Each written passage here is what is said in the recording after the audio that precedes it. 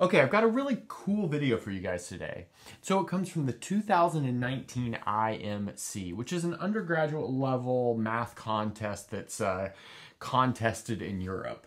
And it's this cool infinite product. So we have the product as n goes from 3 to infinity of n cubed plus 3n all squared over into the 6 minus 64. Let's real quick notice that we can't really start at 2 or at 1 because if we started at 2 or 1, that would include the n equal 2 term, and that would zero out the denominator, and that wouldn't really work here. Okay, so generally when we've got an infinite product, we want to see if it telescopes. And in order to get an idea if this thing telescopes, let's see if we can rewrite this numerator and the denominator anyway. Well, first of all, let's notice that this numerator is pretty easy to rewrite. So we've got n cubed plus 3n.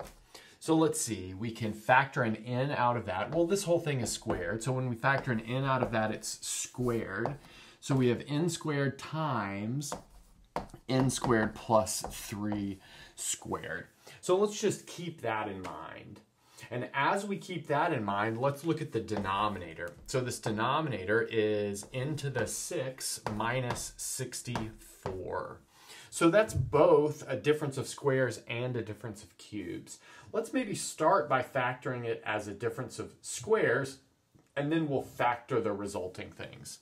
So this is like n cubed squared minus 8 squared. That's how you want to think about this as a difference of squares. That means this factor is like n cubed minus 8 times n cubed plus 8. Okay, so that's good. Let's box that off so it's to the side. And now we've got two, well, a difference of cubes and a sum of cubes. Both of those have factorization rules. So this difference of cubes factors like n minus 2 times n squared and then plus 2n plus 4. And then the sum of cubes factors like n plus 2 and then n squared minus 2n plus 4. So in general, what we have is a cubed plus minus b cubed can be factored as a plus minus b times a squared minus plus ab plus b squared. So we get the same sign in this first term, this linear term, and the opposite sign in the middle of that quadratic term. Okay, so this is good. But now we'd like to somehow match these terms in the numerator with terms in the denominator. Let's recall that this is the numerator, whereas this will be the denominator.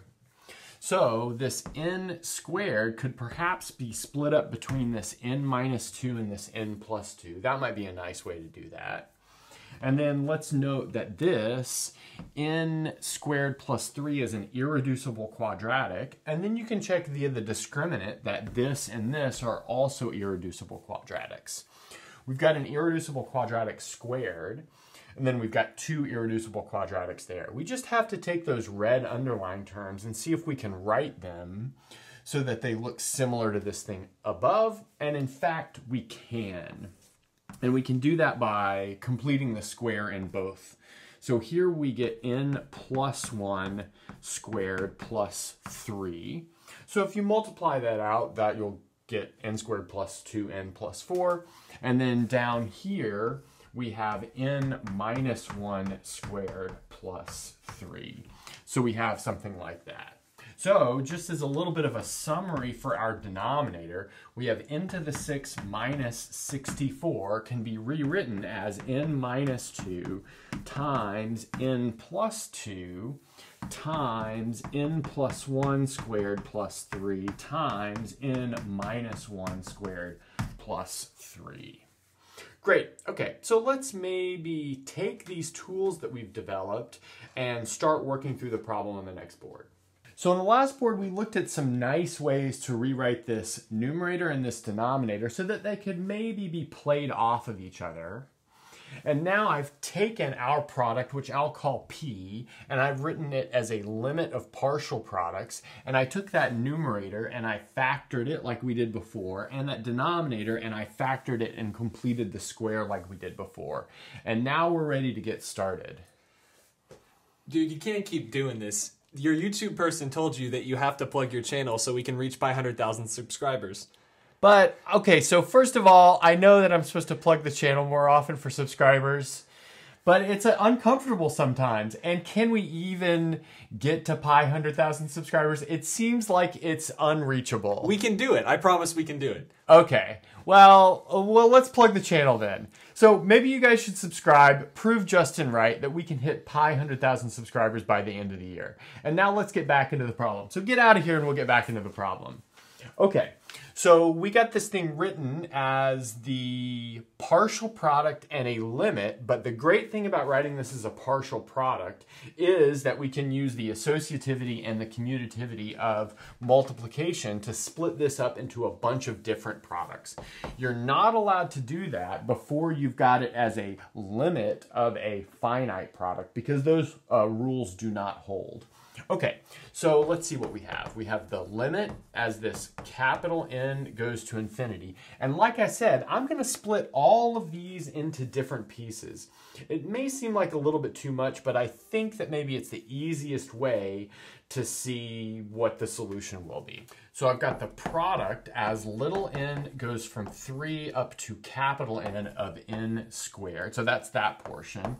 And then I have the product as n goes from 3 up to capital N of this n squared plus 3 quantity squared. And then in the denominator, I have a bunch of terms. So I have this product as n goes from 3 up to capital N of n minus 2.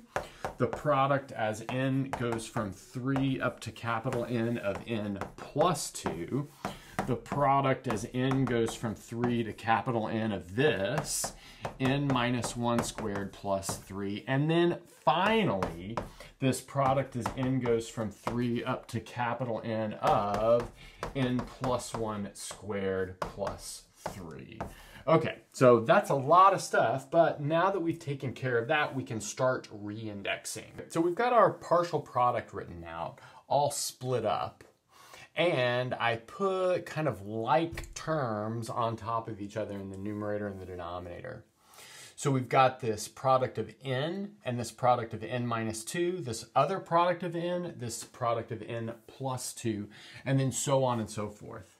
And now we'd like to re-index things in the denominator so they look like things in the numerator. So I can do that with this one that I've underlined in pink by replacing n with n plus 2. So if I replace n with n plus 2, I will have n instead of, I'll have n plus 2 minus 2, which cancels down to n. Now notice if n plus 2 is equal to 3, then n is equal to 1. And if n plus 2 is equal to n, then n is equal to capital N minus 2. And so that sets up our re-indexing. So that means that this guy right here can be written as the product as little n goes from 1 up to n minus 2 of n. So we have something like that going on right there. Okay, so now let's see what happens with this n plus 2, which I'll underline in blue. So here I'll replace within n with n minus 2. So when n minus 2 is 3, that means that n is 5. And when n minus 2 is capital N, that means n is capital N plus 2. So that's how our reindexing will work there. So that's going to turn this into the product of little n goes from 5 up to capital N of n. Great. Now we'll do, again, the same thing over here, or the same sort of thing over here. Here I'll replace n with n plus 1. When n plus 1 is equal to 3, that makes n equal to 2. When n plus 1 is equal to capital N, that makes n equal to n minus 1. So that's going to turn this into the product as n goes from, let's see, 2 up to capital N minus 1 of let's see, we have n squared plus 3, putting it in line with what we have up there. Okay, then finally we have one more, and this one that underlined in red. We'll replace n with n minus 1. When n minus 1 is 3, that makes n equal to 4. And then let's see, when n minus 1 is capital N, that makes n equal capital N plus 1. That gives us our upper and lower bound for this new product. We have the product as n goes from 4 up to capital N plus 1 of n squared plus 3. Okay, so now let's maybe bring these four and replace them up here. Okay, so I replaced everything in the denominator as we re-indexed on the last board. And now we can do some nice simplifications. So let's maybe put this in pink parentheses. Those are like our like terms there. Here we've got some green parentheses for these like terms. Here we've got some blue parentheses for these like terms. And then finally some red parentheses that are getting wiggly for these like terms. And then we can make our simplification. So here we have, this is the limit as capital N goes to infinity still. Then we have this big product. So from the pink part, let's notice that in the denominator, we've got two terms at the bottom that we don't have at the top.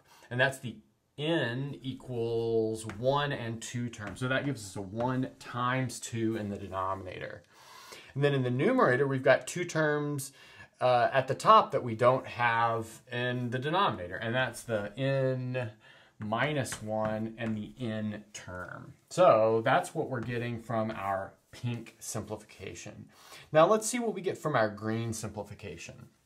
So now we have a 3 times 4 in the numerator from those bottom terms. And then in the denominator, we'll have, let's see, an n plus 1 and an n plus 2. So there's our green terms. Okay, sweet. Now let's see what's happening over here. So here we'll have top terms that we don't have over here, and that's just the capital N term. So that's our n squared plus 3. Then here we'll have bottom terms, and that's the n equals 2 term. So if we plug n equals 2 here, we'll get 2 squared, which I believe is 4, plus 3 is 7. So we've got 7 for that. Okay, so that's what we have there. And then finally, in these red parentheses, we've got a bottom term in the numerator. That's for the n equals 3 term. Plugging in n equals 3, we get 9 plus 3, which I believe is 12. And then in the denominator, we have an n plus 1 term. So that's going to be n plus 1 squared plus 3. Okay, so like I said, that's happening in the denominator. Okay, so now let's note that we have a a quartic polynomial in the numerator and a quartic polynomial in the denominator. And so those essentially just cancel each other out as we take the limit as n goes to infinity. And I think not much else has to be said about that. And then we're finally left with this product 3 times 4 times 12 over 2 times 7. Well, notice that's going to be a cancellation gives us 3 times 2 times 12 over 7. But let's see, 3 times 2 times 12 is 6 times 12 is 72 over 7. And that would be our final answer. And if you like this problem, I've actually got a couple of other problems on infinite products. One should be on the screen right now if you'd like to check it out. And that's a good place to stop.